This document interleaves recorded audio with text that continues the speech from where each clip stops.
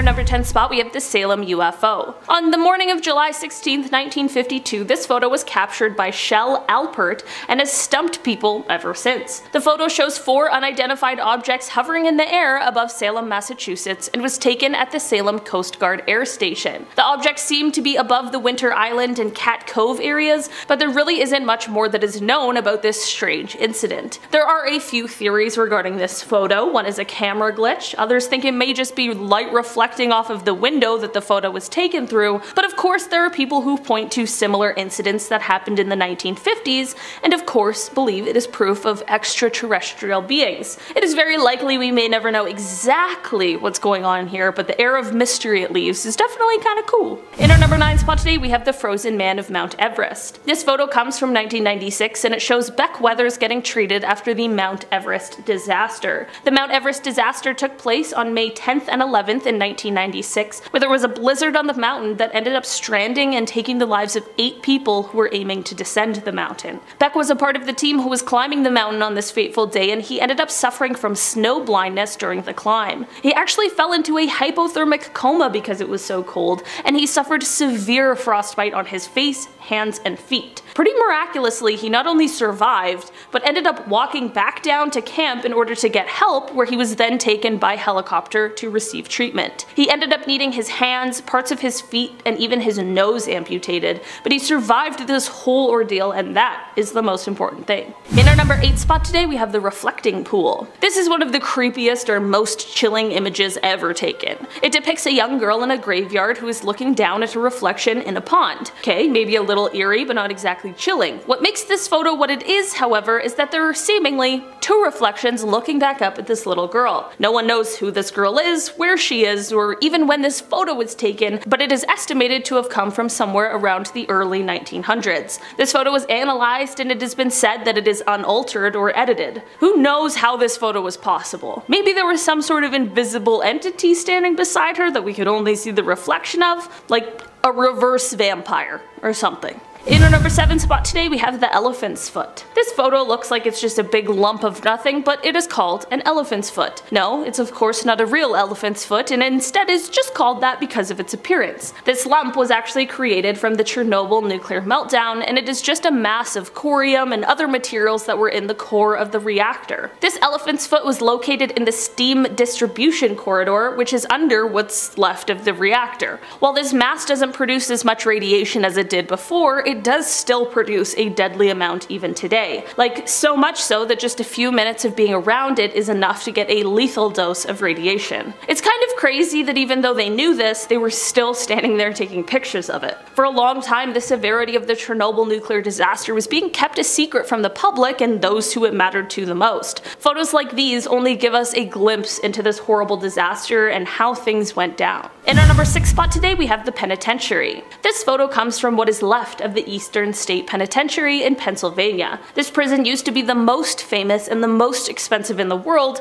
but now this is the sort of thing that is left of it. This prison is actually now used as a tourist attraction and it becomes a haunted house during Halloween. The prison used to house some pretty high profile prisoners such as Scarface himself, Al Capone. The prison was opened in 1829 and was known for its advanced technology for the time. They had things like central heating, flush toilets, and shower baths in each cell. These were all considered luxuries in 1829. The first prisoner to be held there was Charles Williams who was facing a two-year sentence for theft. When he arrived at the prison he had a hood over his head so as to protect his identity, but also so that he wouldn't know what the rest of the prison looked like so he would never be able to plan an escape. While prison is never good, the craziest thing about this specific one is that all of the prisoners lived in isolation. I can't even imagine what that would be like, especially for the people who found themselves there for a long period of time. This photo is just a truly haunting reminder of all that once went on in this prison. In our number 5 spot today we have the Stanford Prison Experiment. This photo comes from 1971 during the Stanford Prison Experiment. For those of you who aren't familiar with this experiment,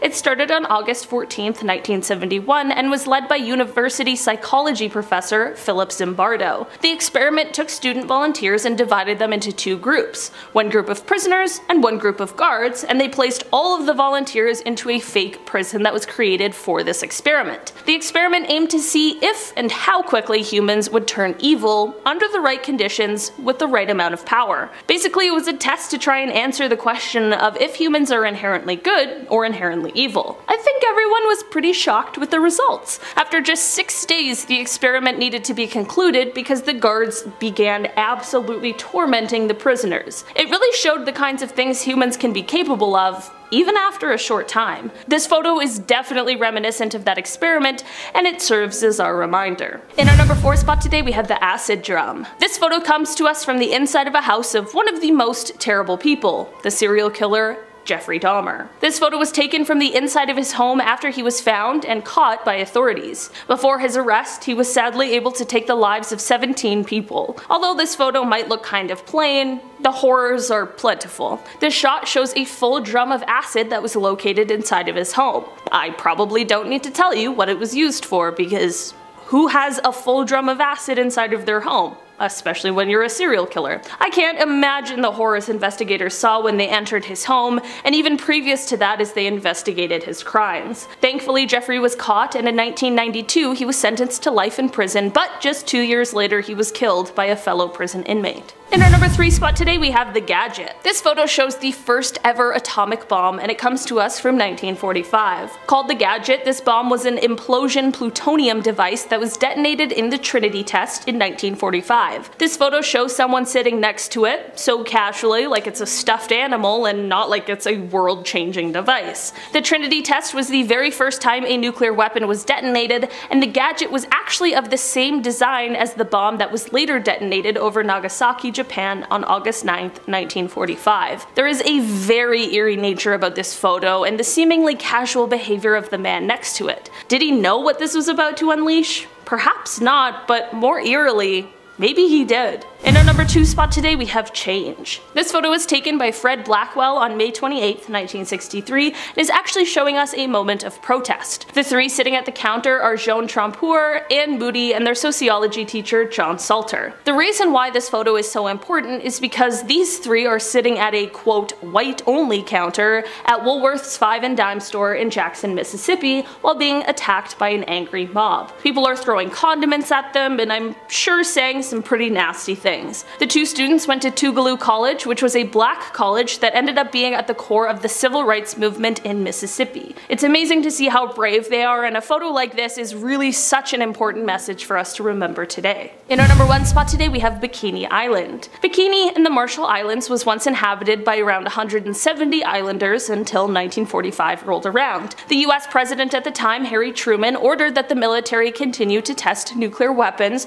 just in case they were needed in the future since this was shortly after the end of World War II. Unfortunately, Bikini was the place that was chosen to be the testing site since all planes and ships traveled on routes that weren't close to the area. The residents of the island were asked to vacate, quote, for the good of mankind and to end all world wars, to which they of course obliged under the impression that they would one day be able to move back. Test weapons were detonated on the reef itself, on the sea, in the air, and underwater, and this photo shows what was happening during just one of these tests and it wasn't even the largest one. Although the former residents of Bikini were promised that they would one day be able to return home, the island still remains uninhabited because of the mass amounts of radiation that still exist here. Number 10. Sea Creature Hook Island is off the coast of Queensland, Australia, and Robert Le Serrec, his family, and a friend, Hank de Jong, stayed there for three months in late 1964. On December 12, 1964, the Le Serrecs and Hank were crossing Stonehaven Bay on an island when Robert's wife noticed something odd in the water. It was a long, tadpole-like creature. It was black and it was believed that it was at least 30 feet long. Robert and Hank decided to venture into the water and record it on film. When they entered the water, the monster was even bigger than they thought, but as they started recording, the creature opened its mouth and swam away. When they checked the film, they had no footage of the creature, but the pictures clearly showed it. The pictures were published in a magazine and eventually spread across the world, making it one of the most famous and unexplained pictures of a cryptid. Number 9. A spaceman? This is one of the world's most famous mysterious photos. The image was taken by Jim Templeton near Solway Firth in Cumbria, England in 1964. It is a simple photo of his daughter, but behind Jim's daughter, who was supposed to be the only figure in the picture, there is another entity resembling a spaceman. Jim insists he did not see anyone else present when the photograph was taken, so what's behind her? The image was reproduced widely in contemporary newspapers and gained the interest of UFOologists. Jim took the picture to the police in Carlisle who, after many doubts, examined it and stated there was nothing suspicious about it. The local newspaper, the Cumberland News, picked up the story and within hours it was all over the world. Regarding the photo, Jim said, The picture is certainly not fake and I am bemused as anyone else as to how this figure appeared in the background. Over the four decades the photo has been in the public domain, I've had many thousands of letters from all around the world world with various ideas or possibilities, which most make little sense to me.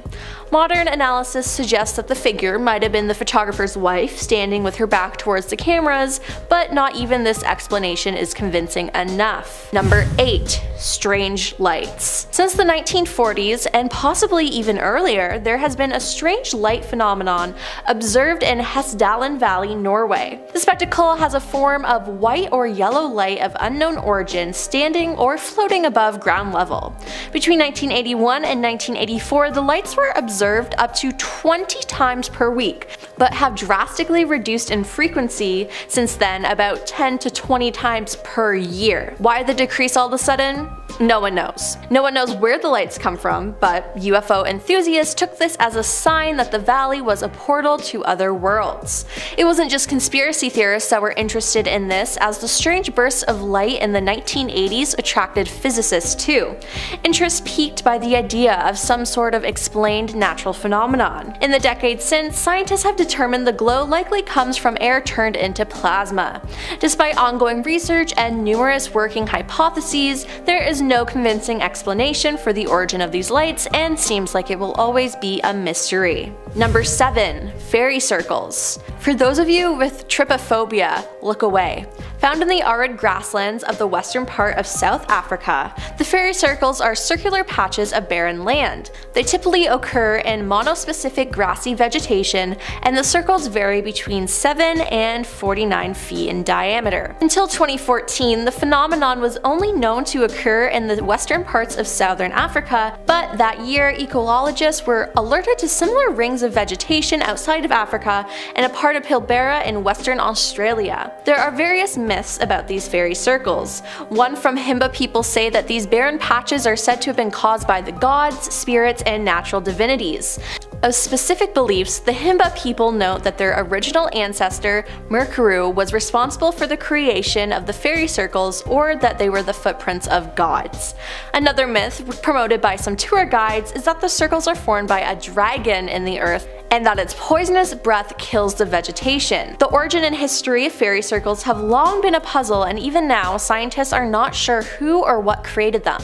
One favorite assumption is that a sand termite is responsible for the circles, but the range of the phenomenon is much wider than that of termite species, so it's unknown. Number 6. Ghostly Waters In December 1924, James Courtney and Michael Meehan were crew members of the SS Watertown. While on the ship they were cleaning a cargo tank of the oil tanker and they were overcome by gas fumes which resulted in both of their deaths. Due to this, the crew buried them in the sea but to their astonishment the ghostly faces of the soldiers appeared in the water the next day. Yeah, like in the waves.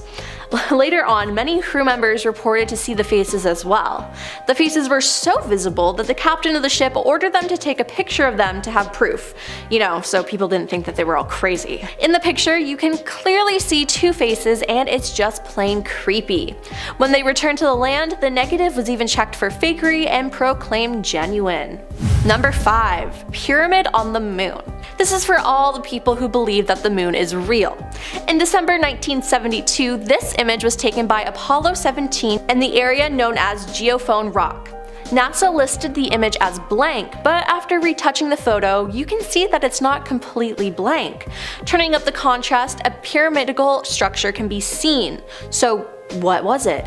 Was it some malfunction of the camera, or is there actually a pyramid on the moon? NASA has never given a credible version of the issue, which has led some speculations about what else can actually be on the moon hidden to public awareness. And listen, not to be a crazy conspiracy theorist, but maybe it's true that aliens built the pyramids on Earth as it looks like they did on the moon too. NASA, please tell us the truth. Number 4. Figure climbing the stairs. Reverend Ralph Hardy, a retired clergyman from White Rock, British Columbia, took this famous photograph in 1966. Originally, he only wanted to take a picture of the elegant tulip staircase in the Queen's House section of the National Maritime Museum in Greenwich, England. And I mean, I don't blame him, they're pretty. But upon development, the photo would revealed a shrouded figure climbing the stairs. It's strange and unsettling, and Ralph says there was no one else in the frame when he took it. So, is it a ghost? That seems like the most reasonable explanation at this point. Experts who examined the original negative concluded that it had not been tampered with. The vicinity of the staircase is rumored to be haunted, and unexplained footsteps had often be heard there, so it could definitely be a ghost, but it's still very strange. Number 3. The Young Boy one of the most famous haunted houses in the United States is the Dutch Colonial House at 112 Ocean Avenue in Amityville, New York. The haunting stems from the night of November 13, 1974, when 23-year-old Ronald DeFeo killed all six members of his family. He was then arrested, convicted, and given six concurrent life sentences. In December of 1975, George and Kathy Lutz, along with their three children, moved into the house and claimed that spooky things were happening. For example, George would wake up at 3 3.15 every morning, which was the approximate time that Ronald killed his family. Kathleen said she could feel a ghostly presence and be embraced by it. All of this and more caused the family to flee in fear after only staying in the house for 28 days. Due to this, demonologists Ed and Lorraine Warren visited the house and set up time-lapse infrared cameras and caught this photo. This picture wasn't made public until three years later when George Lutz appeared on the Merv Griffin Show in 1979. Believers of the haunting thinks that the photo is a ghost of the youngest DeFeo son, John Matthew, who was 9 at the time of the Others believe it's a staged photo, but despite the controversy, this picture is one of the most frightening images from the Amityville horror. Number 2. Man falling from the ceiling. Back in the 1950s, the Cooper family from Texas moved into their new house. Once there, they took a family photo. Normal, right? But when the picture was developed, the image of a body falling from the ceiling was clearly visible. To be clear, no one fell from the ceiling when they took the photo. So, what happened? As further investigation on this story has brought no plausible explanation, there exists many speculations, including one that argues that the shadow is the ghost of the previous owner of the house. But my question is, why is he falling from the ceiling, and why did he have to ruin that beautiful family photo? I remember seeing this photo on the internet when I was probably too young to see it, and after all these years, this image still gives me the chills. And number one, a collection of things. I don't even know how to go on to describe this photo. It's a collection of things, but you can't really make out what any of the things are. At first glance it appears normal, but upon closer inspection it is incredibly difficult to make out any object, as everything is blurred to the point of being indistinct. Your brain is trying hard to grasp some sort of pattern to understand the context of the photo, and it looks so much like there is context to be found, but it's simply impossible. The photo is named Name One Thing in This Photo, and it was made by someone unknown. Many people have described this as what you see when you're having a stroke, but has not been released to what this is or why it was made. All I can say is, is that it makes me wildly uncomfortable and I'd love it if it were deleted off the internet forever. Starting off this list in our number 10 spot, we have the reenactment. This photo is extremely unsettling and for a very good reason. If, when you look at this photo, your instincts tell you that the guy in them is creepy, Ding ding ding! You're right. This is a photo that features the German serial killer Joachim Kroll. He is known for taking the lives of 14 people, all varying in age. This monster was caught in 1976 and he was discovered when police found out that he had clogged the plumbing in his apartment with remains of one of his victims. How gruesome is that? This photo was taken shortly after he was caught and arrested, and what you're seeing is Kroll reenacting one of his crimes for the police. I get goosebumps just thinking about that. I couldn't imagine being there or being the police officer he's on top of. Talk about terrifying. I'm just glad that they caught him and got him off of the street. In our number 9 spot today, we have the Pioneers Defense. This photo is known as the Pioneers Defense, and man, does it ever look creepy. This photo comes from 1937 and it was taken by a Russian photographer named Viktor Bulla. This photo takes place in the Leningrad area, which is now known as St. Petersburg, which is the second largest city in Russia. The people in this photo were part of a group that was the 1930s Russian equivalent of our Boy Scouts that was called the Young Pioneers. The masks on their faces leaves a very eerie feeling, and for a fair reason. These people were doing a military preparation drill, which is the reason for the gas masks. This photo was taken during a time when the country was under the dictatorship of Joseph Stalin, and the residents were constantly unsure of what was going to happen. The country was already seeing death, and people were already frightened just a few years before the start of World War II, and those in this photo felt the need to be prepared for the worst case scenario. In our number 8 spot today, we have the net test. This photo comes to us from 1958, and it is quite an interesting one. At a first glance, it looks fun, but then when you catch the expression on the person's face and look a little more into it, it really just leaves you with a ton of questions as to what exactly is going on here. It looks like a guy is going on some sort of a roller coaster ride, but what is actually happening is that a prisoner is being used to test safety nets before they were mass produced. Yeah, not the good time we thought it was. This comes from a time where capital punishment was much more widespread throughout the United States, and those waiting on death row couldn't just sit around waiting for their day to come. I think it's probably best that we made the switch to crash test dummies and that sort of thing, and this photo just remains as an eerie reminder of the less than great choices that were made in the past. In our number 7 spot today, we have a burst of joy. You might be looking at this photo wondering how this extremely joyous photo could hold any dark secrets. Well, this photo won a Pulitzer Prize and for a good reason. This photo was captured by Slava Veder on March 17, 1973 at the Travis Air Force Base in California. This photo shows United States Air Force Lieutenant Robert L. Stirm and his family. This was taken as he was being reunited with his family after five years of being held as a prisoner of war in North Vietnam.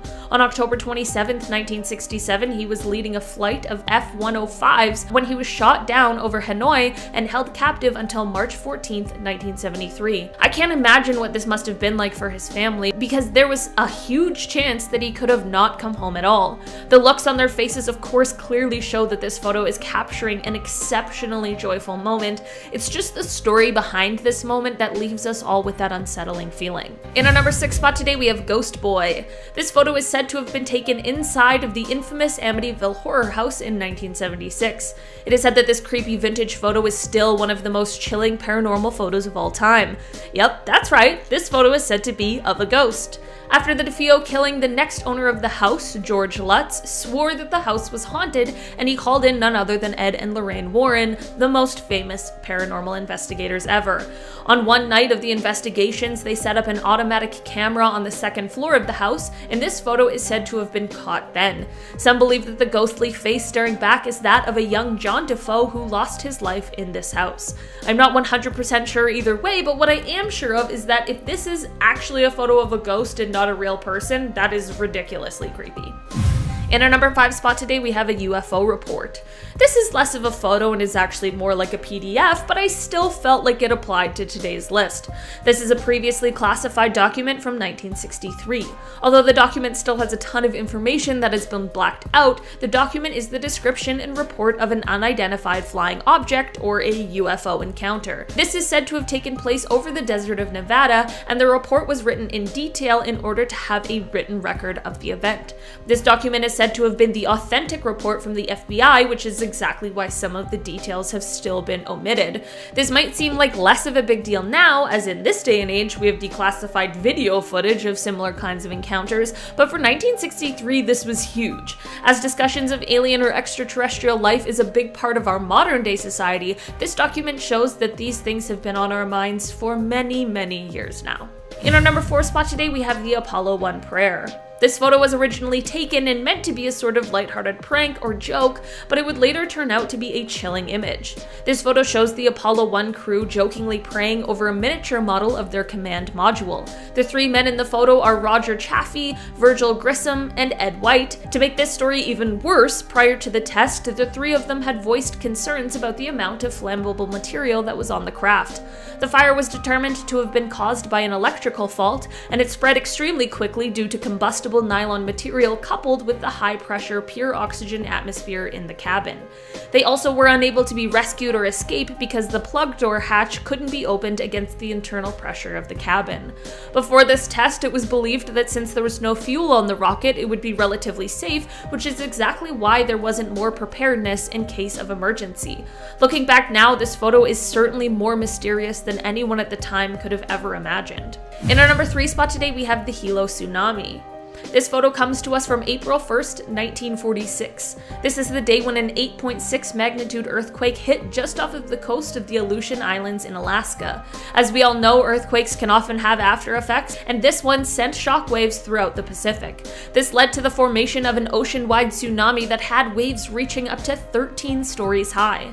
This disaster went on to strike Hilo, Hawaii, in what became one of the worst disasters in Hawaiian history. This photo somehow survived the disaster and it captures the terrifying view someone must have had in their last moments. This photo is especially chilling to view just days after the Tonga volcano eruption occurred. The Earth and these naturally occurring disasters are absolutely terrifying and powerful and unpredictable. In our number two spot today, we have The Shadows. As most of us know, on August 6, 1945, the United States dropped an atomic on the Japanese city of Hiroshima. This was devastating to the city, and of course we can understand the implications of this. This photo shows what is called a nuclear shadow, and this is just one that could be seen throughout the city. When the bomb detonated 1,900 feet above the center of the city, the explosion caused temperatures of 10,000 degrees Fahrenheit to spread through everything within 1,600 feet of it. This of course destroyed nearly everything and everyone within a mile of it. The light and heat from the bomb was so powerful that it bleached the exposed surfaces of the city, except as seen here, where an unsuspecting person was shielding the surface with their own body. It is truly such an eerie reminder of the impact that this really had. In our number one spot today, we have The Crash. This is one of those photos that was just taken in the right place at the right time, but it shows a very scary situation. A man named Jim Meads is said to have taken this photo in 1962. Story goes that a man named Bob Sauray had mentioned to Jim that he was going to fly this plane called the Lightning the following day. Jim took his kids out for a walk that next day and took his camera with him, intending to get a shot of the aircraft as Bob flew it. He wanted to get a photo of his children with the airfield in the background just as the plane was coming into land. They found the spot, they got all set up, just waiting for the plane to return. Turns out that day Bob didn't fly the plane and instead the pilot was actually a man named George Aird who was another test pilot. So George is up in the plane and he realizes that there's trouble. Since I don't know plain language, I'm gonna use this quote from fearoflanding.com, which wrote, quote, whilst carrying out a demonstration flight, there was a fire in the aircraft's reheat zone. Unburned fuel in the rear fuselage had been ignited by a small crack in the jet pipe and had weakened the tailplane actuator anchorage. This weakened the tailplane control system, which failed with the aircraft at 100 feet on final approach. This led to the plane pitching up aggressively as George came into land. George lost control and he ejected in order to save himself. Luckily, since the nose had pitched up, he had just enough time. The tractor driver in this photo was then 15 year old Mike Sutterby, who had spent that summer working on this airfield. He wasn't actually posing, he was telling Jim to move since he wasn't supposed to be there before turning to look at what was happening behind him. This is all what led to this photo being snapped and this story surviving all of these years. In the end, George was okay, aside from some minor injuries, and while Jim didn't get the photo he set out for that day, he still got quite an interesting one. Starting off this list in our number 10 spot, we have a pile of bones. During the 19th century, bison were hunted so much that they were actually quite close to being extinct, and by the mid 1880s, there were only a few hundred left. Hides were prepared and then shipped off so that they could be made into leather, but usually the bones, or really anything other than the hide, was just left to decay, as it wasn't useful to the hunters. The hunting of bison was so widespread and overwhelming that even the US Army sanctioned and endorsed the slaughter of herds of bison. The federal government was promoting it for a variety of reasons, including to lessen a food and material source for the indigenous peoples. The US government was even paying a bounty for each bison skull, and military commanders were ordering troops to kill bison, not for them to eat, but just so that the indigenous couldn't. That story coupled with the sheer mass amounts of skulls seen in this photo is exactly what makes it so exceptionally unsettling. These bones would likely be on their way to become fertilizer. In our number 9 spot today we have the Great Manta. In 1933 a New York silk manufacturer named A.L. Kahn was on a nice little vacation in Florida when he honestly accidentally caught something remarkable. His anchor line by mistake caught onto a giant manta ray. After a struggle and several hours Kahn was able to get this actually enormous fish ashore. This monster was somewhere between 5,000 to 6,000 pounds and was 20 feet and 5 inches in width. For reference, there are other giant manta rays, but they usually grow to be around 13 to 14 feet wide, not 20 and a half. This photo is showing a taxidermy version of the fish which Kahn used to bring around to exhibitions to show off his accidental catch. In an article from the December 10, 1933 issue of the St. Louis Post Dispatch's Sunday magazine, Kahn is quoted as saying, quote, Fishing is a lot of fun when you catch the fish. And sometimes it's fun even when you don't, but when the fish catches you. In our number 8 spot today we have the swimsuits. This is a photo that comes to us from the 1920s and it shows just one of the many extremely important jobs that the quote beach patrol of the day had. Yes, they went around measuring the length between a woman's knee and the bottom of her swimsuit because God forbid she showed too much leg at the beach. In the 1920s, bathing suits began to become something that went through changes and fads, and of course this evolution to more form-fitting, less material swimwear caused a lot of controversy in the day. There were then strict dress codes implemented at places like resorts and country clubs, and even directors of public beaches had them, thus the Beach Patrol. There were fines for violations and sometimes even imprisonment. In the Washington Post in 1907 there was a photo of two women in bathing suits being escorted by an officer with a caption quote, these apologies for skirts endanger the morals of the children. The police must interfere and stop the outrageous proceedings. In most cases, these sorts of rules really only affected the women of the time, and sometimes women were even required to wear stockings under their bathing suits. I'm just saying, with my attitude, I would have not done well in the 1920s. There was even one beach who had a tailor go around and stitch up swimsuits that they felt weren't up to the dress code. In our number 7 spot today we have the advertisement.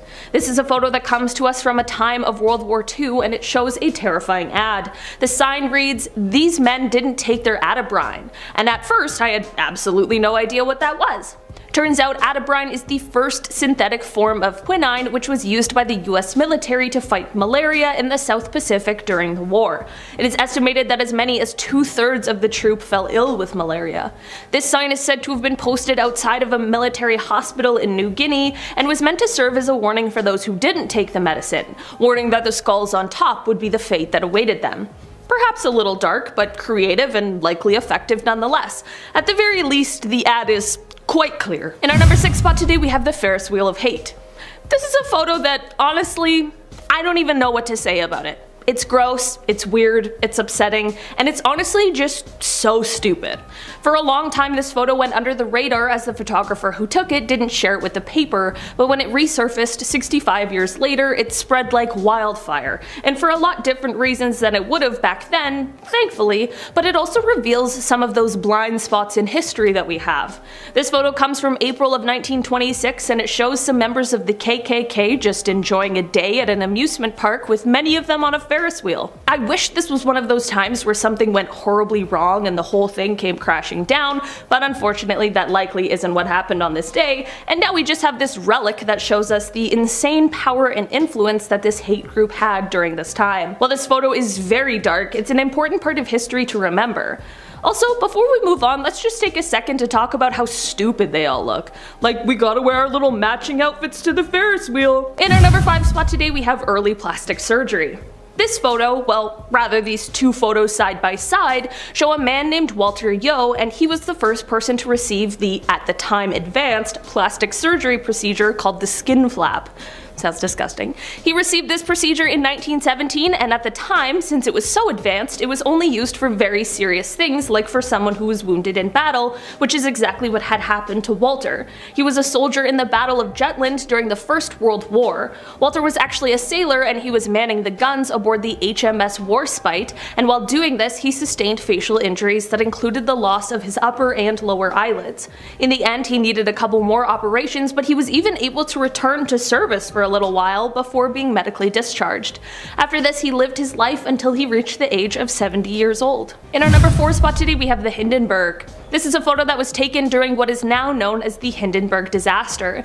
It is commonly known that blimps or these kinds of floating airships use helium in them to float through the air, and it's important to note that this helium isn't the choice because it's the only option, but rather it's one of the safest options because it isn't extremely volatile. Because of a US ban on the exportation of helium at the time, i.e. the Helium Control Act of 1925, although the Hindenburg was designed to use helium, because of a lack of it available, on the day day of the Hindenburg disaster, the much more flammable hydrogen was used instead. This led to a complete disaster. When the Hindenburg floated off on May 6, 1937, it disastrously caught fire during its flight with 97 people on board. Sadly, due to the fire, there were 35 casualties on board the flight that day. It is an absolutely horrendous situation, but it does teach us all a very valuable lesson. In our number 3 spot today, we have the Falls. This is a photo of Annie Edson Taylor when she was 63 years old in 1901. The barrel she is posing beside is the one that she sealed herself up inside of to then become the first person to survive a trip over Niagara Falls. Why did she do this? Well, for money of course. Annie was widowed and spent a lot of time bouncing between different jobs, but after having been burned out of her home and losing money that she had invested with a clergyman, she ended up sadly falling on some hard times, and this is what led her to the falls. The barrel she used was custom made and it was constructed of oak and iron and padded with a mattress. It wasn't exactly easy to get this whole plan set up and it ended up being delayed several times, mostly because people were afraid to be a part of this mission that was likely sending Annie to her death, and I truly don't blame them at all. On October 24th, 1901, her 63rd birthday, Annie climbed in the barrel with her heart-shaped pillow and was set adrift. The river currents carried the barrel over the Canadian Horseshoe Falls, and rescuers reached her barrel shortly after. She was alive and escaped with little to no injuries aside from a gash on her head. While her survival is great news, it's important to include what Annie had to say about the entire situation after, which was, quote, If it was with my dying breath, I would caution anyone against attempting the feat. I would sooner walk up to the mouth of a cannon knowing it was going to blow me to pieces than make another trip over the falls. So don't try this at home is what she's saying. In our number 2 spot today we have War is Hell. This is a photo of a soldier that was taken during the Vietnam War. The soldier has a hand-scribed note on their helmet that reads quote, War is Hell, and I truly cannot even imagine. In 1954, the US entered the war to support South Vietnam against the regime in North Vietnam, as well as their allies in the South. This war lasted for two decades and it claimed more than 3 million lives, mostly those of Vietnamese civilians. There are many, many powerful, disturbing, and unsettling photos from this war, many of which I would consider too graphic to put here on YouTube. There's something about the brightness of the eyes of the soldier that sits in contrast with the rest of this dark photo that really make it stand out. For a while, the identity of the soldier was left a mystery, but after some years, Fran Chaffin Morrison revealed that the soldier was her late husband, Larry Wayne Chaffin. Larry served for a year in the 173rd Brigade, beginning in May 1965, and when this photo was taken, he was just 19 years old. He did end up being discharged from the army and was able to return home to his wife. He sadly ended up passing away at the young age of 39, thought to be because of complications due to the exposure to Agent Orange, but his legacy has lived on. There's an incredible photo of his grandson who looks strikingly similar to his grandfather, holding this exact portrait. In our number one spot today we have the cross. This photo comes to us from 1960 and it shows Martin Luther King Jr. along with his infant son at the time removing a cross that had been burnt on his front lawn. This photo is important and powerful for quite a few reasons. Firstly, it's just a glimpse into what Mr. King would have dealt with every single day for many years. It is clear by his almost nonchalant look that this isn't something new or surprising. It's also important to note, however, that this look isn't one of acceptance or content, or of someone who is unbothered, but instead it's the look of someone who continually chooses to rise above, someone who chooses to remain calm and cool in the face of adversity the leader of a movement.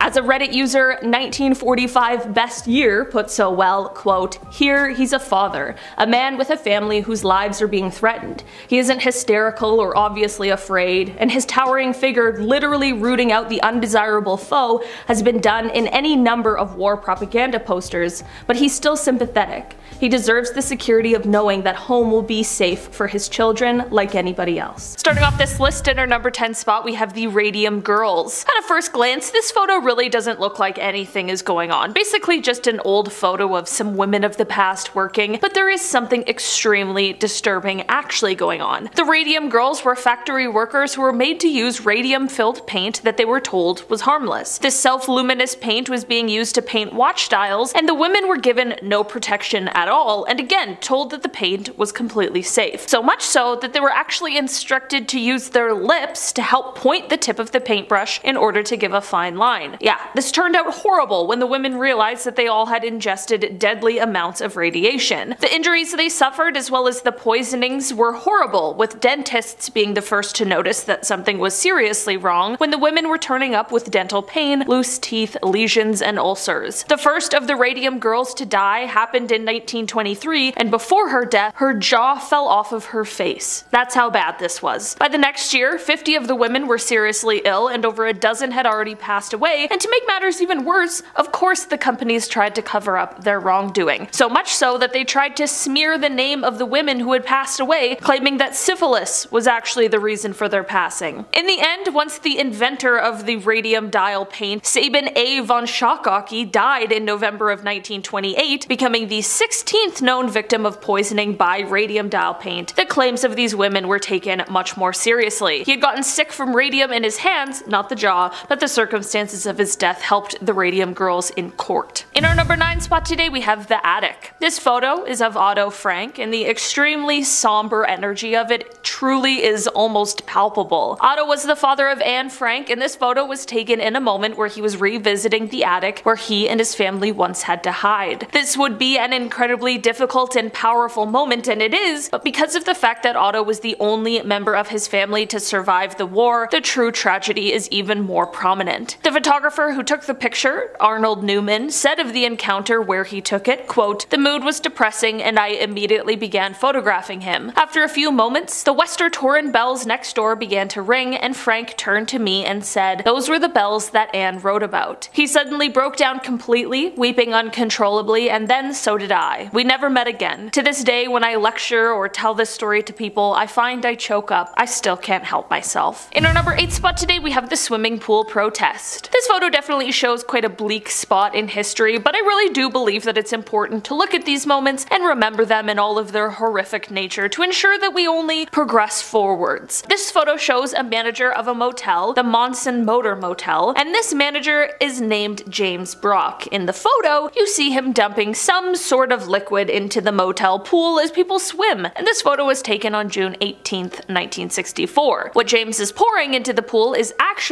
muriatic acid, which is similar to hydrochloric acid, and he's pouring that into the pool in order to try and get the people who were swimming in it out. This photograph was taken by Horace Cort and was connected to the St. Augustine movement, which at the time was a lot of peaceful protests and demonstrations that took place, which unfortunately ended up erupting into violence. On June 11, 1964, just a week before this photo was taken, Martin Luther King Jr. was arrested at this same motel after he had been asked to leave the segregated restaurant. This arrest is what led to a group of protesters planning an event where they would jump into the pool in order to try and end segregation at motel pools pools. This pool was considered a quote whites only pool, so when he saw these protesters standing up for themselves and swimming in the pool, this was the route he took to try and get them out. Times like these definitely show us that things were incredibly different not that long ago, but there is always more work to be done. In our number 7 spot today we have the treatment program. This photo is said to have been taken all the way back in 1890 and it comes from a treatment center in Germany. The photo shows a woman who appears to be tied with her arms outstretched to the sides as well as having her feet shackled in place as she is made to face a wall. This photo apparently is of someone who is undergoing treatment for their mental health. This sounds wild, but forced standing actually used to be a legitimate treatment for people exhibiting signs of mental illness in this time. Forced standing. I'm really not sure how anyone ever thought that this would help, but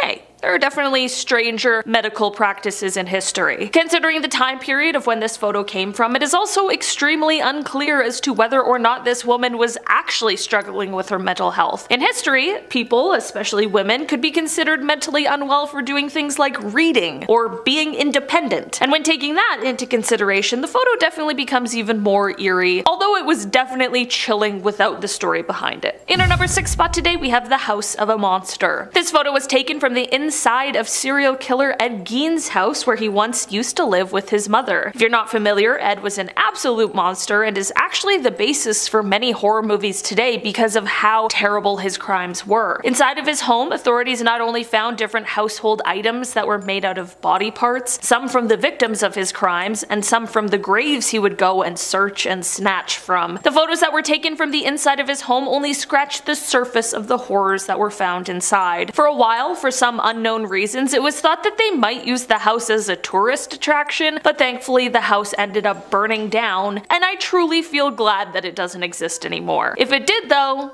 would you have gone? In our number 5 spot today we have The Challenger. This is a series of two photos, and one after another they paint a horrible story that we will definitely never forget. The first photo shows a clearly very excited Challenger crew as they walk down the ramp ready to head off on their mission. The crew even included 37 year old Christa McAuliffe who was a high school social studies teacher. She had won a spot on this mission through a program with NASA called the Teacher in Space program and she had trained diligently for months in order to be the first non-military person in space. On January 28, 1986, the Challenger mission proved to be fateful just 73 seconds after liftoff. Two rubber O-rings failed because of the cold temperatures of the morning, and on live television, the world watched as the spacecraft broke apart and plunged into the ocean, sadly taking the lives of everyone on board the craft. It is an absolutely tragic event made even more chilling by this final photo of the crew, as well as the photos that show the explosion as it happened. In our number 4 spot today we have The Fire. This is a photo that comes to us from 2003 at the Station nightclub in Rhode Island, and it shows the band Great White as they perform. While this seems like just a regular photo that someone took on their Motorola Razr, what ensued shortly after this photo was taken is absolutely tragic. Basically, as the band performed, there were some pyrotechnics that you can see in the photo, and they were set off, and while this was meant to be a spectacular display, it only ended in disaster. The fireworks ended up setting all of the flammable flammable acoustic foam in the walls and ceiling on fire, and within one minute everything that was combustible was up in flames. Within two minutes the entire club was fully engulfed in black smoke and people were having trouble finding exits. In the end this fire took the lives of 100 people and another 230 were injured as a result. It has gone down in US history as one of the worst and most deadly nightclub fires. In our number 3 spot today we have the pile of bones. During the 19th century, bison were hunted so much much that they were actually quite close to being extinct, and by the mid 1880s there were only a few hundred left. Hides were prepared and then shipped off so that they could be made into leather, but usually the bones, or really everything other than the hide, was just left to decay as it wasn't, quote, useful to the hunters. The hunting of bison was so widespread and overwhelming that even the US Army sanctioned and endorsed the slaughter of herds of bison. The federal government was promoting it for a variety of reasons, including to lessen a food and material source for the indigenous peoples. The US government was even paying a bounty for each bison skull and military commanders were ordering troops to kill bison, not for them to eat, but just so that the indigenous couldn't. That story, coupled with the sheer mass amounts of skulls seen in this photo, is exactly what makes it so exceptionally unsettling. These bones would likely be on their way to become fertilizer. In our number 2 spot today we have the Hindenburg. This is a photo that was taken during what is now known as the Hindenburg disaster disaster. It is commonly known that blimps, or these kinds of floating airships, use helium in them to float through the air, and it's important to note that helium isn't the choice because it's the only option, but rather it's one of the safest options because it isn't extremely volatile. Because of a US ban on the exportation of helium at the time, i.e. the Helium Control Act of 1925, although the Hindenburg was designed to use helium, because of a lack of it available on the day of the Hindenburg disaster, the much more flammable hydrogen was used. This led to complete disaster. When the Hindenburg floated off on May 6, 1937, it disastrously caught fire during its flight. Sadly, due to the fire, there were 35 casualties on board the flight that day. It is an absolutely horrendous situation, which teaches us all a very valuable lesson. In our number one spot today, we have the Falls. This is a photo of Annie Edson Taylor when she was 63 years old in 1901. The barrel she is posing beside is the one that she sealed herself up inside of to then become the first person to survive a trip over Niagara Falls. Why did she do this?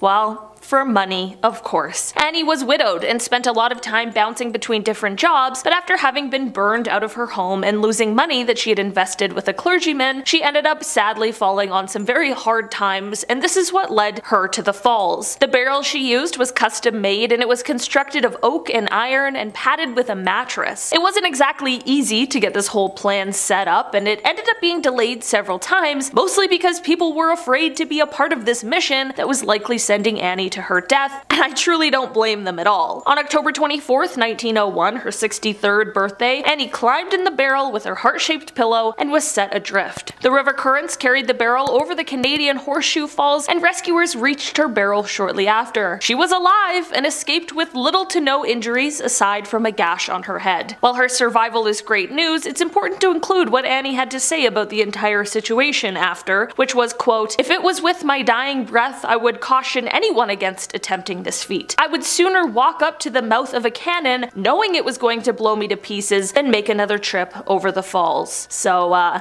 don't try this at home. I think, is what she's saying. At number 10, parkour gone wrong. I'm sure you've all seen an example of parkour before, but I would personally describe it as people launching themselves from one spot to the next, avoiding injury by the skin of their teeth. Often done outdoors, some of the maneuvers these people do are seemingly impossible.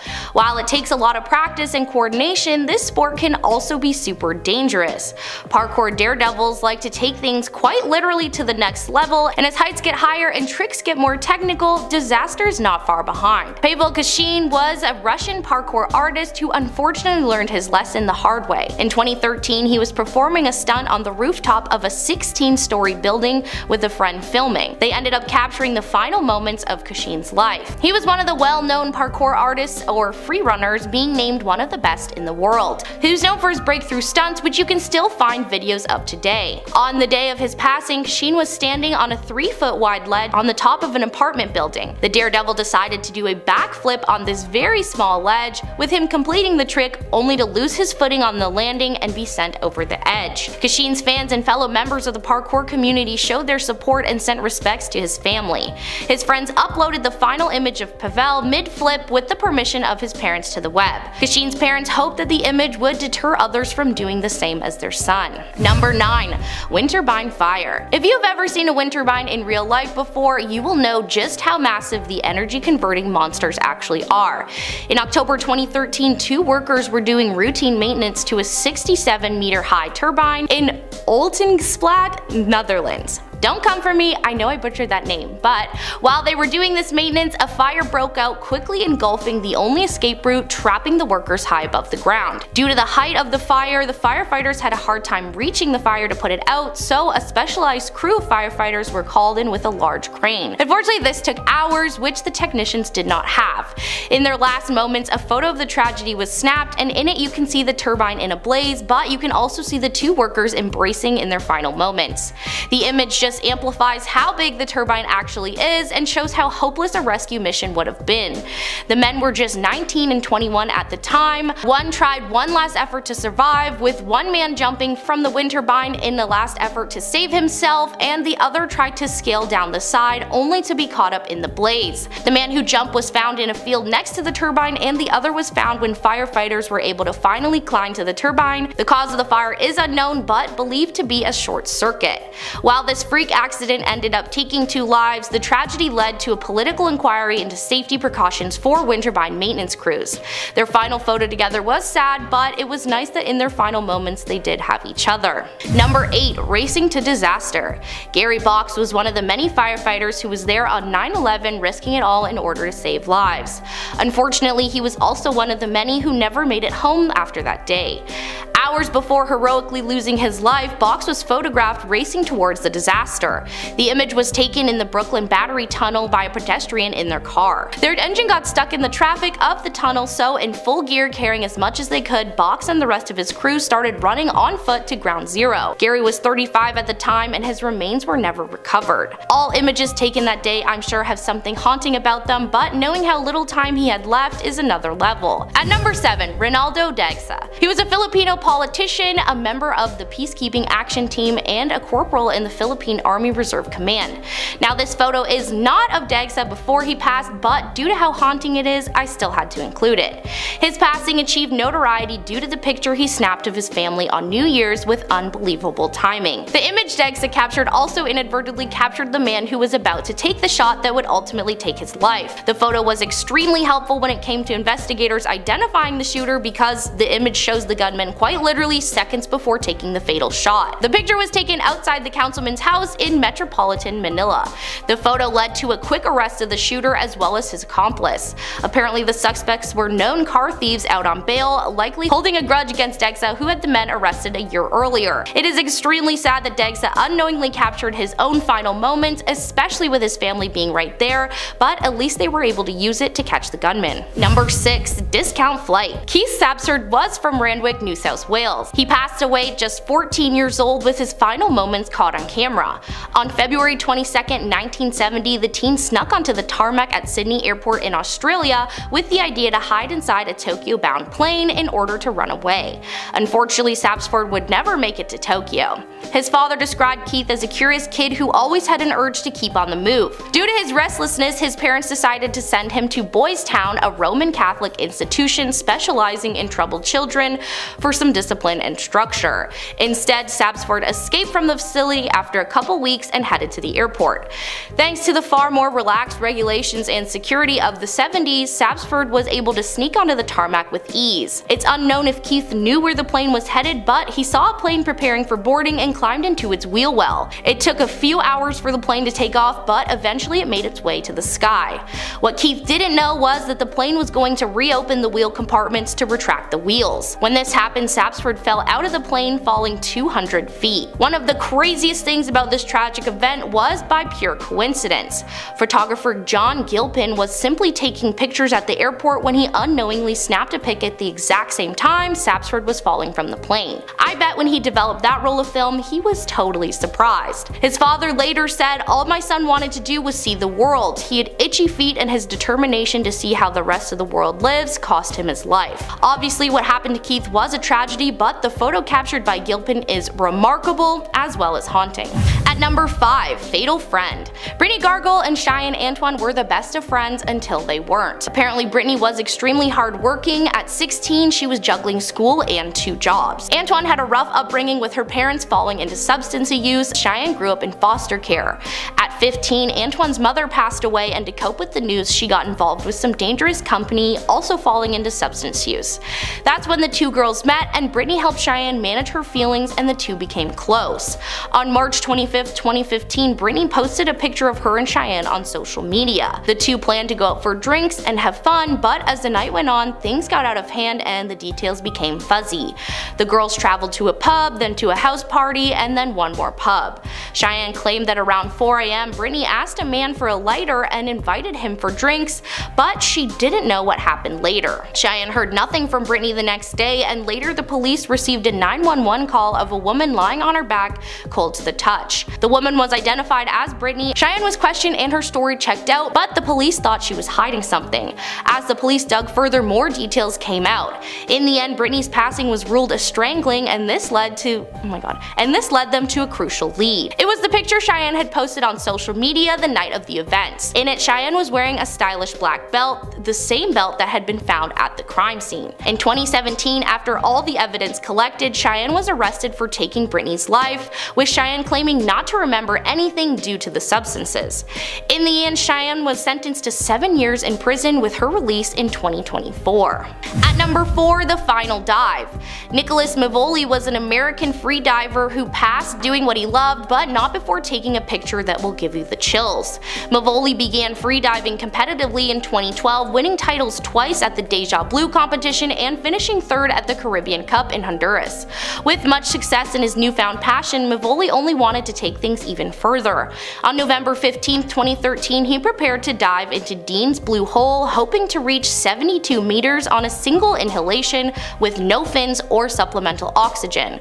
Surrounded by 15 other athletes and observers as well as 5 safety divers, he submerged face first looking like a human arrow diving into the darkness that would ultimately end up being his last dive. Mike Board, freediving record holder, said diving into a depth with no fins, that's a hard physical dive. I was thinking, okay, he's going to have a hard time getting up.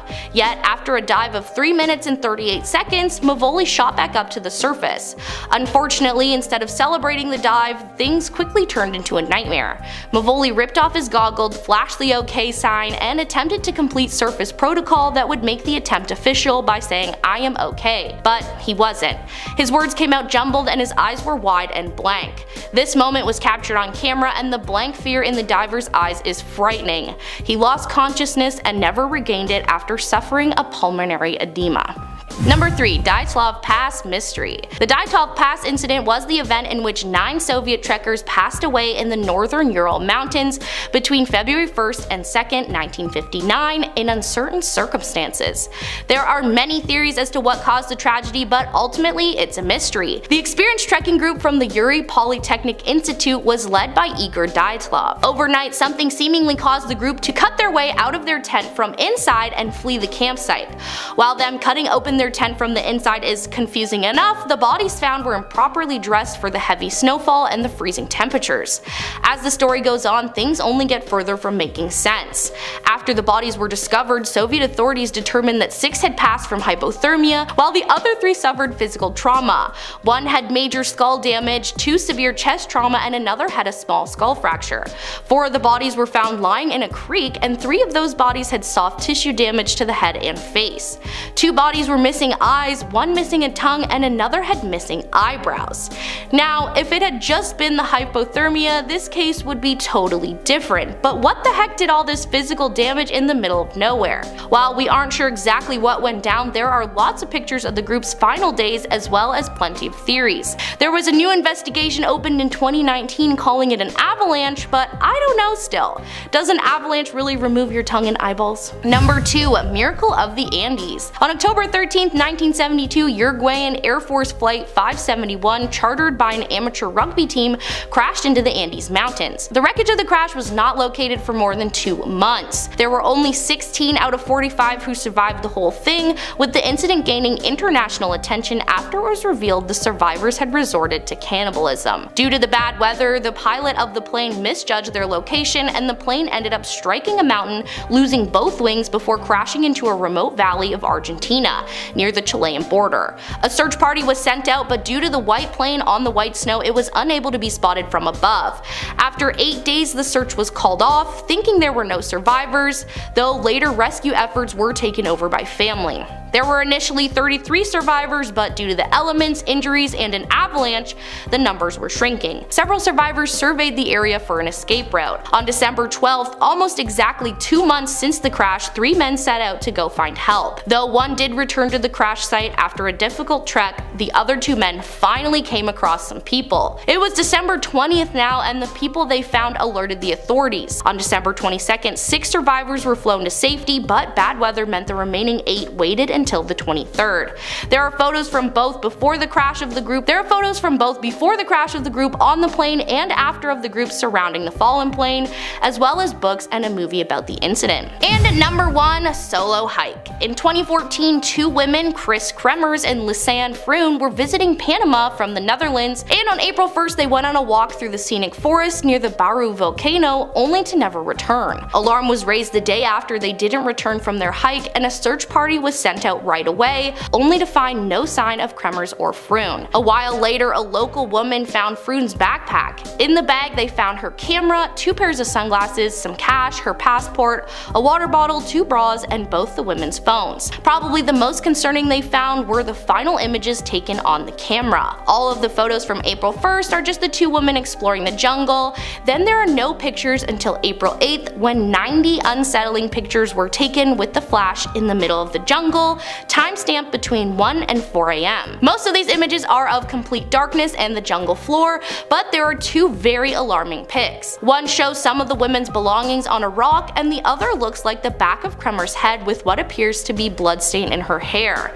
Something else suspicious about the camera is that image 509 was missing, with 508 being the last of them looking okay and image 510 being the first in the darkness days later. They found a pelvic bone and a foot still inside a boot. Froon's bones appeared to decompose naturally, but Kremer seemed to be stark white as if they'd been bleached, further leading to question if someone else was involved. And now, coming in at number 10, UFOs. Do you guys remember in April of 2020 when the Pentagon released UFO videos? The videos, captured by naval aviators, show objects flying through the sky, one rotating against the wind, and the pilots can be heard just being completely flabbergasted. When they first appeared online, they breathed new life into the decades-long conversation about whether interstellar visitors had ever come to Earth, and extraterrestrial enthusiasts were more than a little excited about the whole thing. While the Pentagon has said that there are usually some more closer to home explanations for most occurrences like these, the Pentagon has never made any assertion about what exactly is going on in the videos. Recorded in 2004 and early 2015 over the Pacific and off the East Coast, they simply say that the phenomenon is unexplainable. I'm gonna go ahead and say that there's nothing that proves these are aliens and that's why these particular videos were released in the first place. I'm sure they've got more substantial evidence of aliens hiding somewhere. Number 9. Tank Man The Tiananmen Square protests were student-led demonstrations in 1989 calling for democracy, free speech, and a free press in China. The amount of protesters began reaching into the millions, and when martial law had not deterred them, the government became much more hostile. On June 4th, military personnel and police began to storm the square using live rounds, with hundreds of thousands of casualties and 10,000 arrests. A man on June 5th, though, was photographed standing alone against and on top of a massive tank in the infamous square, and that image has circulated around the world. But it's likely that many people in China itself haven't seen much of it. That's because every year on the anniversary of the massacre, the Chinese government puts a massive amount of effort into making sure that there is not even a mention of it in the media or on the internet, as if the government would prefer to just erase it from history altogether. Number 8. X-37 Spaceplane Once upon a time, one of the most secretive advanced US experimental aircraft, the X-37B spaceplane, landed at the Kennedy Space Center in Florida, and the government did not want many pictures taken. The funny thing is that there are actually a lot of pictures of this event and of the craft itself, but what it's being used for or what its missions have been is the part that no one really knows. The autonomously piloted aircraft had just spent two years in our Earth's orbit on a highly classified mission. The craft looks like a miniature space shuttle, and it is launched into orbit using a secondary vehicle. It has had a few missions that prove that it is useful as a reusable space vehicle, which is the whole thing, but we don't know exactly what its purpose is or what technology it contains. Okay, number 7.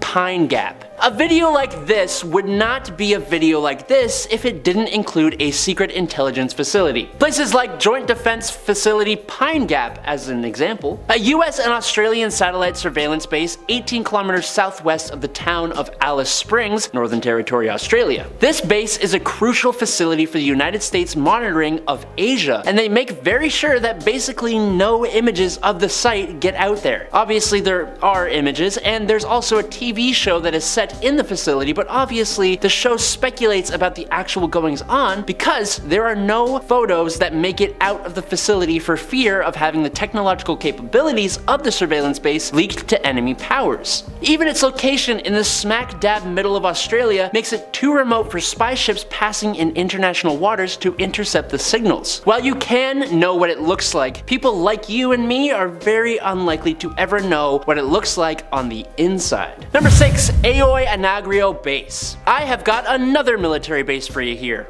Google Earth is a wondrous thing. You can find just the silliest stuff on there, you can check out your childhood home, and you can see landmarks from across the globe from the safety and comfort of your home. But one thing you can't do is take a look at the Greek Aoi Anagroi military base in central Athens. While other military bases are actually visible on Google Earth, the Greek government went an extra length by having any Google Earth images of this base blurred out. It's kind of strange to me because if you look at the images of the base, almost every single building building is still visible, but obviously you can't see exactly what those buildings are used for, and maybe that's the point, because the base's operational capacity is also a tightly guarded secret. It's apparently supposed to be a training facility, but others have speculated that it's where Greek military command is situated. Number 5. Iranian missile failure. Back in 2019, an Iranian missile test launch went incredibly wrong, destroying the facility where the launch took place. Enjoying the failure a bit more than you might suspect, President Trump shared a satellite surveillance image of the site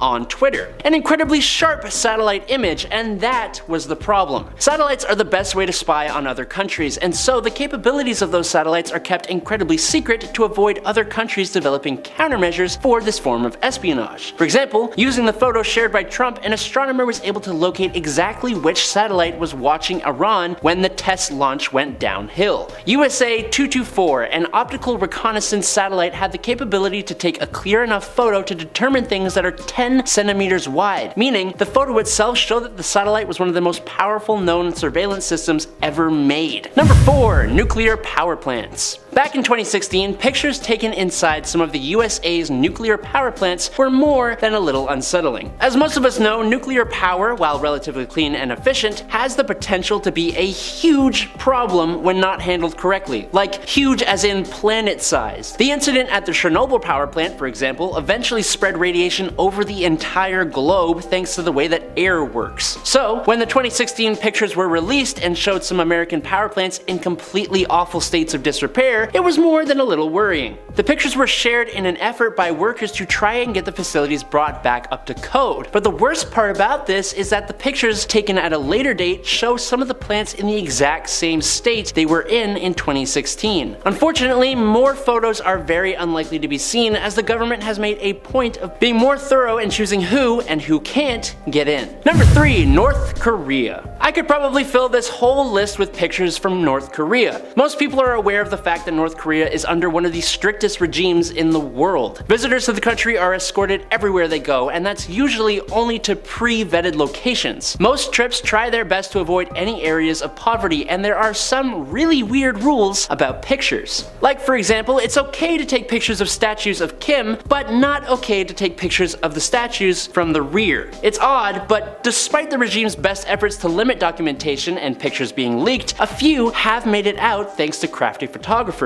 Looking through an album posted online, there are pictures of crowds of soldiers, pictures of kids on computers but with no electricity, soldiers helping on farms, people collecting grass for food, kids playing on almost empty streets, a subway tunnel, and an unfinished painting, and every single one of those photos are illegal. And they aren't the worst of the bunch by any stretch of the imagination. Unfortunately, the photographer who took them has been banned from returning to North Korea once they realized that these pictures had made it onto the internet. Number Number 2. Mexican Asylum Plan During a press conference in June of 2019, Trump was speaking about a deal struck with the Mexican government that would avoid extra tariffs in order to make managing immigrants easier. It's by no means the biggest of security fumbles, but during the conference, Trump was waving around the folded and signed agreement just to show that it was indeed in the works. And the problem came thanks to the sun. You see, it was a real sunny day in June 2019 when this conference was held, and so it illuminated through through the paper and all the words of the confidential in the works agreement were visible for all to see, especially a photographer with a particularly high resolution camera. With the photo he captured, every single word in the document was visible and readable. It's not like this document would affect many people or anything, I guess the unsettling part is more the fact that this even happened in the first place. Number 1. The Xinjiang internment camps. Heading back to both China and Google Maps for our number one spot is the Xinjiang internment camps. Operated by the government and the Chinese Communist Party Provincial Standing Committee, Human Rights Watch say that these camps are and have been used to indoctrinate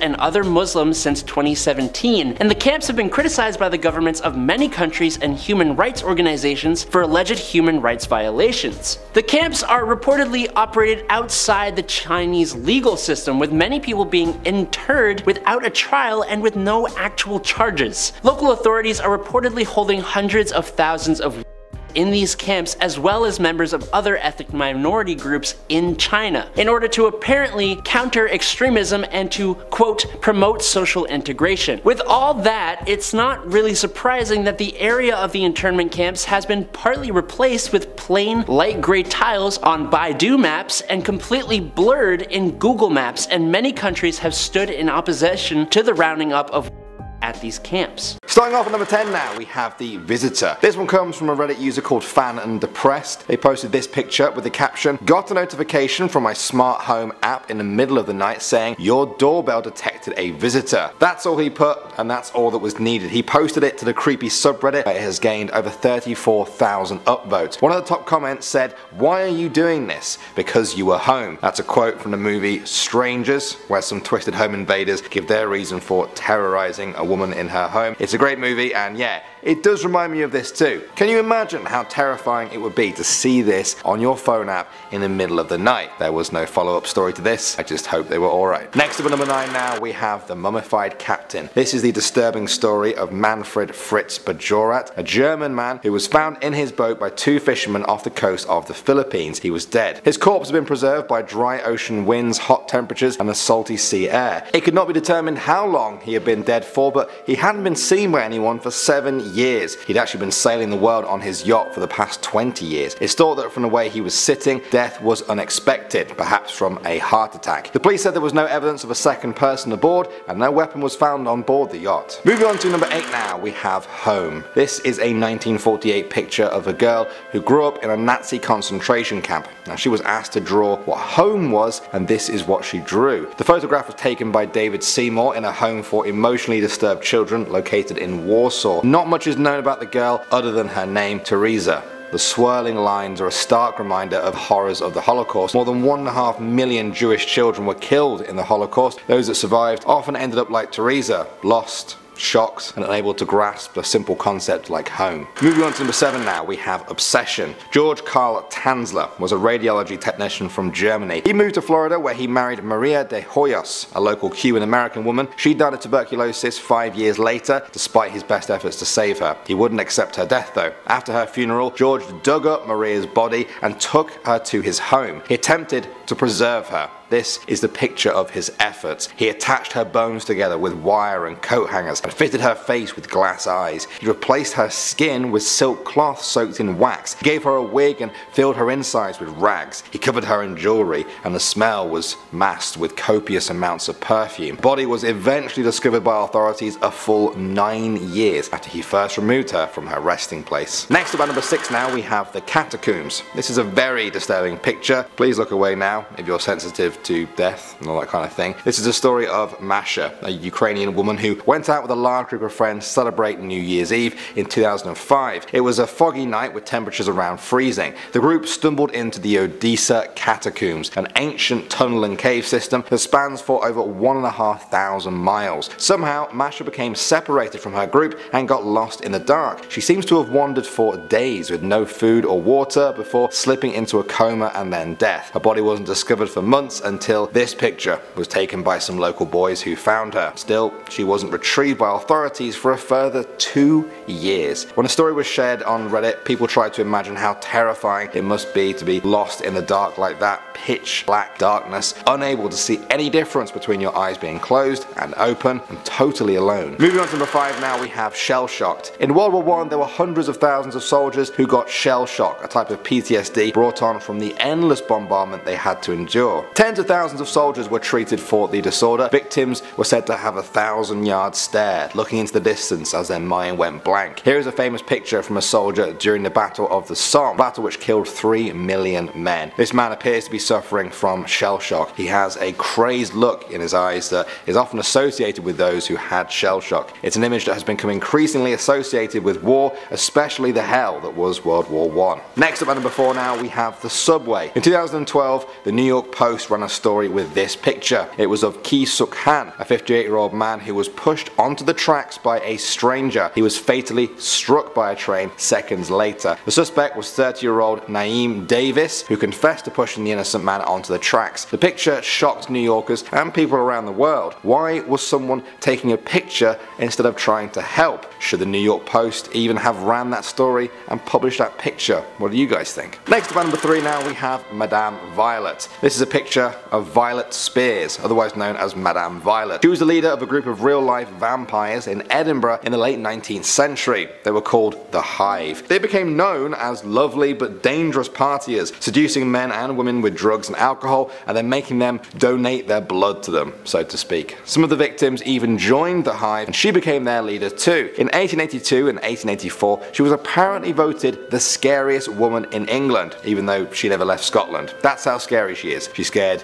another country she didn't even live in. Moving on to number 2 now we have the vulture and the little girl. On March 26, 1993 the New York Times shared a picture known as Struggling Girl. It showed a famine stricken boy initially believed to be a girl who had collapsed from malnutrition during a famine in South Sudan. In the background a vulture waits patiently. These birds have a keen sense of death and this one has its eyes on the boy. The picture shocked the world. The photographer Kevin Carter was awarded the Pulitzer Prize for his photography. He actually killed himself just four months later. The reasons are largely unknown, but many people speculate that pictures like this can drive anyone down a dark path. And finally, number one now, we have the Hiroshima shadows. When the US dropped a nuclear bomb on Japan's Hiroshima, over 100,000 people were killed. Some of them who were close enough were literally vaporized into thin air. The intense heat of the explosion caused what's now called nuclear shadows. The blast forever changed surfaces because of the UV radiation. Surfaces that were blocked by people looked different to its surroundings, leaving a sort of permanent shadow of the person who was vaporized. This is one of the most striking images for me. What appears to be an old person stood at the bottom of the steps. You can even see the cane in their hand. It's a shocking reminder of how destructive weapons of war have become, how quickly life can be snuffed out in an instant, leaving only a shadow behind. Starting off at number 10 now, we have Edward Paisnell. He's also known as the Beast of Jersey. He was a notorious sex offender who terrorized people on the island of Jersey in the English Channel between 1960 and 1971. This is what he wore when breaking into people's homes at night, a rubber mask and nail-studded wristlets. He would attack women and children. He was convicted of 13 counts of assault. Sadly, that is thought to be only the tip of the iceberg, and there are perhaps many more victims than that. Paisnell was sentenced to 30 years in prison and later died on the Isle of Wight in 1994. Next up number 9 now we have Blanche Monnier. In 1901, the Paris Attorney General received an anonymous letter saying that a woman in Paris was being held prisoner against her will. When police arrived at the scene, this was what they saw. Blanche had been locked away in a secret room by her own mother for 25 years. She hadn't even seen sunlight in all of that time.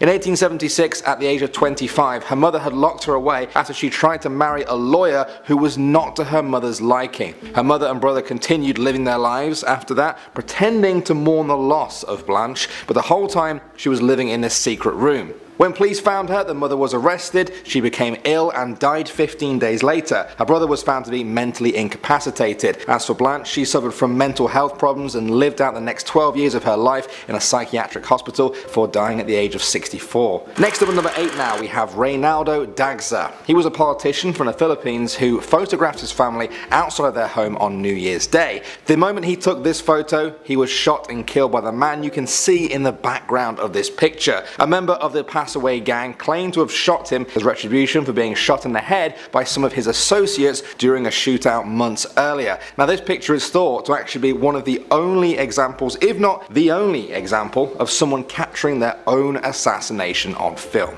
How mental is that? Moving on to number 7 now, we have Rodney Alcala. He's an American convicted rapist and serial killer who was sentenced to death in California in 2010 for 5 murders committed there between 1977 and 1979. In 1978, he was a contestant on the ABC game show The Dating Game. Here's a picture of him on the show. It's made even more chilling when you realise that by this point he had already killed two women. The host introduced him as a successful photographer who got his start when his father found him in the dark room at the age of 13, fully developed. Between takes, you might find him skydiving or motorcycling. He won a date with a contestant on the show called Cheryl Bradshaw. She later refused to go out with him because she found him creepy. Yeah, Seems that her instincts were 100% accurate on that one. Coming at number 6 now, we have Electrical Charge. Now at first glance, this picture looks like quite a wholesome one. It's a picture of 18 year old Michael McQuilkin and his 12 year old brother Sean. The year was 1975 and they had just climbed California's Morro Rock Mountain. Their hair that's standing up from the electrical charge is a sure sign that a lightning strike is about to occur. They didn't heed the warning from nature though and just moments after this picture was taken, they were struck by lightning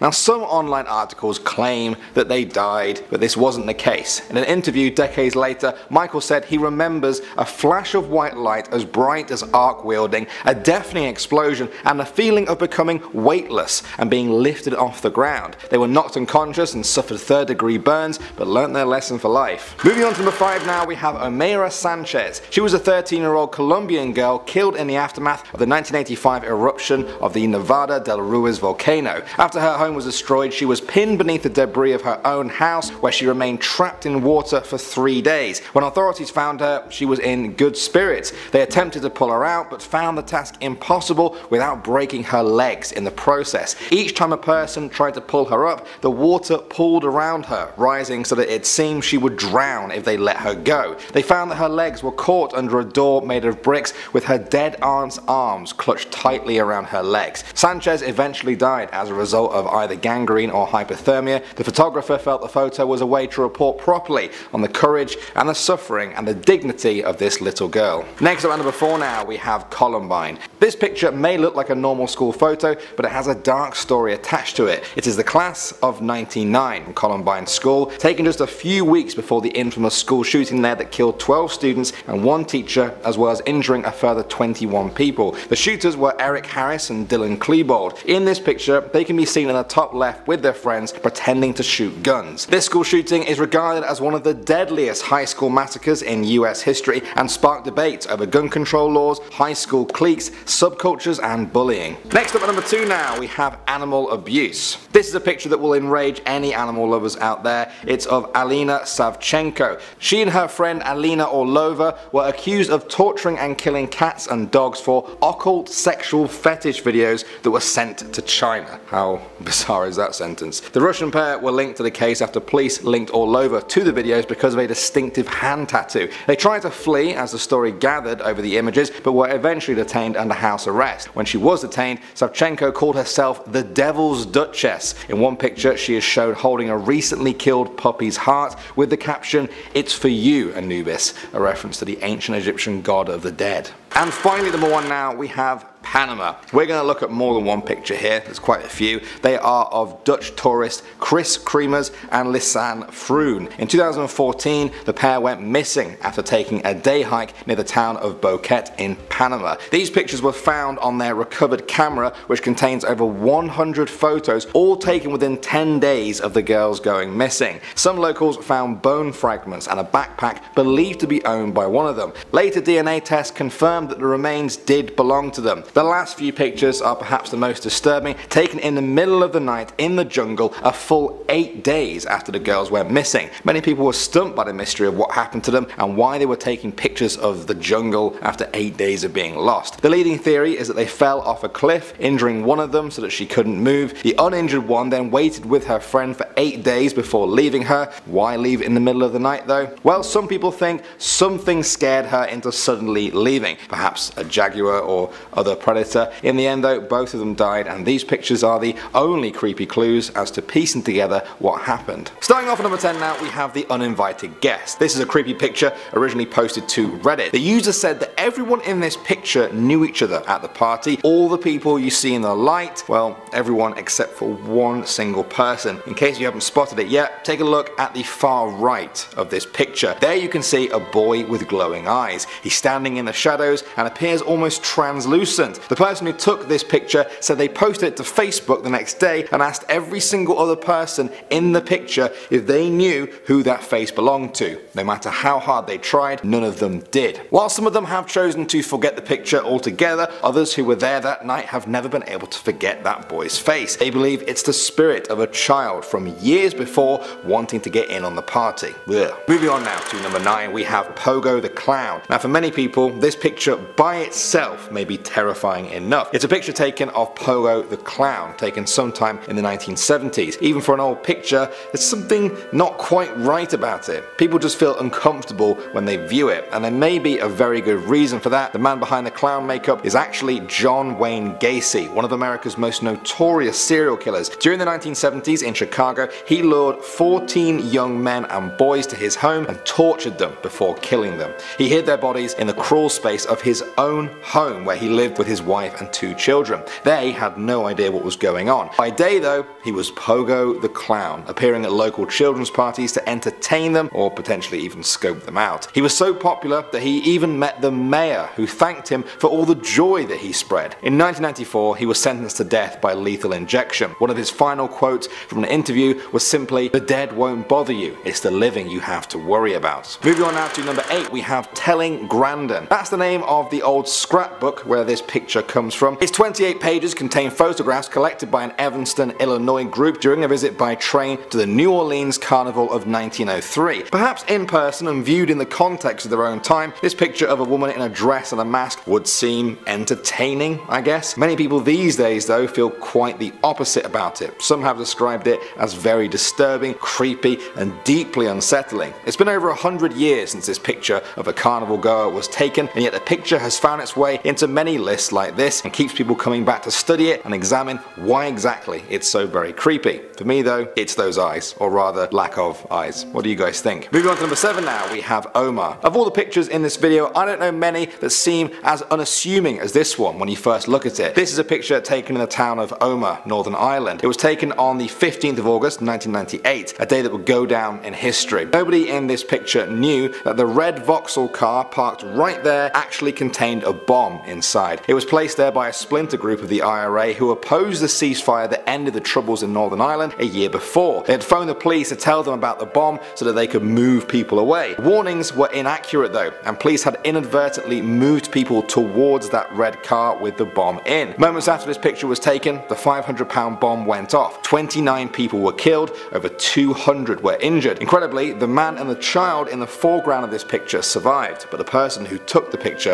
was killed. Next up number 6 now we have gas mask. There are rumours that this creepy picture comes from a small Japanese island where locals are forced to wear gas masks to protect themselves from the toxic fumes of a nearby volcano. In reality though, it appears to be a picture showing members of the Young Pioneers youth group in Soviet Russia donning their gas masks during a civil defense drill near Leningrad in 1937. The government ran group took this picture as a sign of strength meant to show the whole world the efficiency and preparedness of the youth organization. For many people though, it's just a haunting image of faceless children staring you down. Coming in number 5 now, we have Tyler Hadley. I find this picture very disturbing. Again, it's one of those pictures that needs the backstory for you to truly understand how dark it is. The guy on the right is Tyler Hadley, age 17 at the time. He had sent a text out to his friends earlier that night inviting them to a party at his family home in Port St. Lucie, Florida. He finished off the text by saying, don't worry, parents won't be here. That sentence is incredibly scary when you learn that Hadley had just beaten his own parents to death with a claw hammer in their own bedroom. He then partied with his friends on the ground floor of the house. None of them had any idea what had happened. One of them actually took this now infamous picture with Hadley himself. He then told one of his friends what he had done. The friend found the bloody bodies in the bedroom and called the police. Tyler was sentenced to two life sentences without the possibility of parole. Moving on to number 4 now, we have ectoplasm. This picture is said to be from a medium in a trance while contacting the dead. The strange substance streaming across the picture is allegedly ectoplasm. For many years, photos like this quite common, claiming to show ectoplasm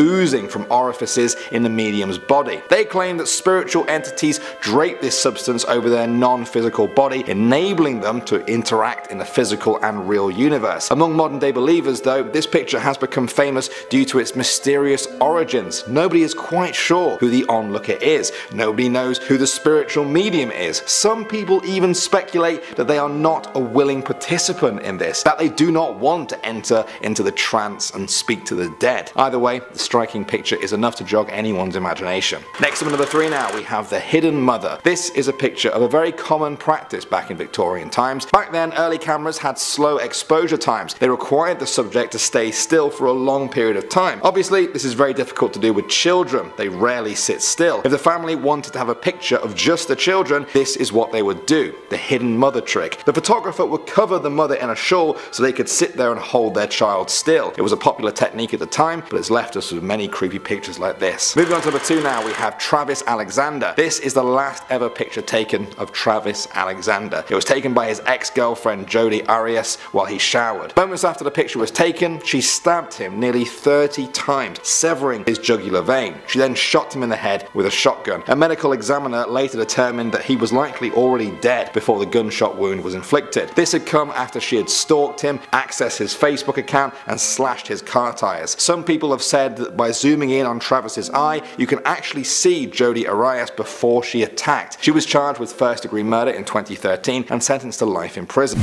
Starting off this countdown, we have the wildfires in Greece. Greece has been experiencing the worst forest fires the country has seen since 2007. In 2007, they hit record-breaking temperatures and experienced a terrible drought, which caused a number of fires to break out. As a result, 270,000 hectares of land was destroyed. And now it's happening all over again. Since early August of 2021, a number of wildfires have been threatening Greece. Thousands of people have evacuated, dozens of homes have been destroyed, and thousands of miles of nature and wildlife have been destroyed. It's very devastating, and a part of why this is happening is climate change. We are experiencing hotter and drier weather conditions, which fires thrive in. This is very concerning to scientists. In our ninth spot, we have the hut on the moon. Just recently, China's Yutu-2 rover, which landed on the far side of the moon in 2019, has spotted a weird object lurking on the moon. On the horizon of the moon, it spotted a cube-shaped object that looks like a hut. So it was given the name the Mystery Hut. Images of this mystery hut have been uploaded online and people believe that this is an alien created structure. Even satellite images from above have picked up this hut as well. For now, the rover is headed closer to the hut to get a better look at it. But the rover isn't the fastest thing out there, so it's gonna take a couple of months to get there. That means for months, we'll be wondering what the heck this structure is. Moving on to number 8, we have the toxic foam. You see all that white stuff floating in the water beside the people? No, this photo wasn't taken in a very cold country, and no, that is not ice or snow in the water. That is a highly polluted river in Delhi. It's so polluted that it's covered in a snow-like toxic foam. This was a result of illegal dumping of industrial waste and untreated sewage water. For years, the government has promised to clean the river, but they never have followed through with this promise. It's actually very dangerous to humans. That foam is very toxic. Again, this is a huge concern to scientists. It shows the destructive habits of humans, and we are now suffering the consequences. Moving on to number seven, we have the river filled with waste. Pollution is one of the biggest global killers. It's affecting over 100 million people. On top of that, over 1 million seabirds and 100,000 sea mammals are killed by pollution every year. Take a look at this next photo to understand the severity of this problem. This is the Lim River in Serbia. In January of 2021, heavy rain caused their waste systems to fail, and as a result, Serbia's rivers were flooded with waste. To clean all that up could take months, even years. And think of all the sea mammals affected by that waste. It's very depressing looking at this photo. Coming in at number 6, we have the body's location. Okay, let's take a break from all the depressing pollution and climate change talk and move on to something pretty eerie. Someone on Facebook posted that they found this on the underside of their desk. It reads, The truth is under. This was written inside of one of the desk drawers. When you look under that desk drawer, it says, The body lies at, and then it lists location coordinates. If you look up the coordinates, some sort of target range pops up from the satellite view. Now, someone actually emailed the county sheriff's office and they said their criminal investigations unit was working on it. He also warned people not to go out to the spot by themselves or at all. Apparently, a couple of years ago, there was this 4chan thread where a guy said that a prize was at a certain location and someone went out there and uh, they were never seen again. So, yeah. We're now at our fifth and halfway mark with the surfer. Here's another photo that sadly captures the world's pollution problem. This photo features surfer Dede Surinaya catching a wave in Java, Indonesia. You can see instead of the water being crystal blue, it's filled with litter. Now, this place is said to be the world's most populated island. Not only that, but scientists have said that Indonesia has among the worst water quality in Asia. This is due to the fact that many cities don't have proper trash collection, so the waste ends up on the street or in the water, or it's on the street and then it gets blown into the water. Coming in at number four, we have the flooding. A number of major cities are sinking due to sea levels rising and climate change. In a couple of years, these cities will be uninhabitable and largely underwater. Take Jakarta, Indonesia, for example. Jakarta is said to be the world's fastest sinking city. North Jakarta has sunk 2.5 meters in 10 years and is now sinking 25 centimeters a year in some parts. Research shows that by 2050, 95% of North Jakarta will be submerged underwater. In fact, currently almost half the city is now below sea level. Many buildings are already being flooded. They have tried to repair these buildings from the floods, but they just keep getting damaged from the floods. Now, the Indonesian government actually has a plan in place to move the capital to Java to protect the 10 million residents, but this move would take 10 years and cost $33 billion. But it's not just Jakarta at risk. Major places like New York, Florida, Fiji, New Orleans are also at risk as well. Coming in at number three, we have the Yellow River in Mongolia. This river is so populated that it's almost impossible to breathe near it. It's also extremely hazardous to swim in or to drink. But here's the thing. It used to supply water to millions of people in the north of China, until recent years when it got polluted with factory discharge and sewage. One third of China's Yellow River is now poisonous to drink. Only 16% of the water is safe. If things keep going this way, soon the entire water supply will be unsafe. In our second spot, we have the Amazon rainforest. Over the past 30 years, 15% of the Brazilian Amazon has been destroyed. This is very problematic because this forest alone supplies 20% of the world's oxygen. And nowadays, more and more parts of the rainforest are being burnt down or chopped down. The main cause of deforestation in the Amazon is the need for more farmland. A couple of years ago, cattle ranchers set the Amazon on fire to illegally clear land and then expend their business. Cattle ranching has caused 80% of the deforestation of the Amazon. However, because of climate change, the Amazon is getting drier. So when they burn down the land, it spreads uncontrollably. In 2019, almost a million hectares burnt down. And in our number one spot today, we have the Kenyan drought. Now, this is a very upsetting photo, but it showcases the reality of global warming and climate change. In December of 2021, a prolonged drought in northeast of Kenya caused the death of a number of animals and livestock. This is a photo of six giraffes who sadly passed away due to this destructive drought. The area only received a third of normal rainfall since September. This photo really gets to me. Like, look how destructive humans are. Our actions are killing our home, this planet, and animals are suffering as a result.